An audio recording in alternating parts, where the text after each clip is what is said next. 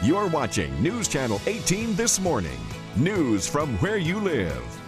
Mainly clear skies out there this morning. A beautiful start for downtown Lafayette. West Lafayette temperature right around 64 degrees. Winds from the southeast near 3 miles per hour so far this morning. That wind gust up near 12 and winds will be gusting from the south as high as 15, maybe 20 miles per hour throughout the afternoon and that will help warm things up. Downtown Lafayette temperature right around 71 degrees. We're at 67 for Fowler and 61 in Monticello as you step out the door this morning.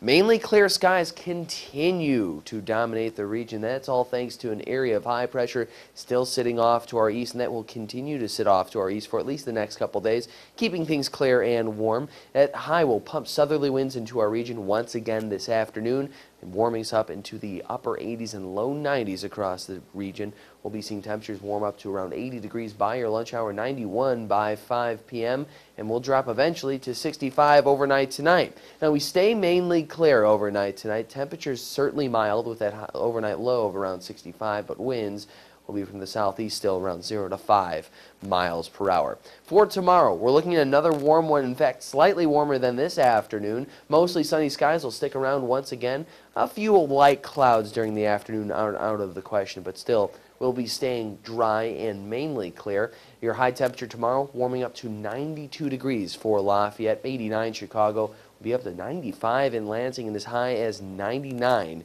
in Springfield, Illinois tomorrow. So mostly sunny skies tomorrow. If you're heading out to downtown Lafayette, we have the Jazz and Blues Festival. Great time, but maybe a little bit warm with that high in the low 90s. Just remember, if you're going to be out and about outside tomorrow, just try to stay pretty hydrated with winds from the south right around 5 to 15 miles per hour. We're not going to be feeling much of a breeze or a relief from that heat tomorrow afternoon. So the 90s stick around for at least the next few days. We'll be up to 90 degrees on Sunday afternoon. Scattered showers and thunderstorms will move in Sunday evening. That'll be ahead of a cold front finally passing through the region by Monday night into Tuesday. See the rain coming to an end Monday night. And then by Tuesday, we're looking at mostly sunny skies once again.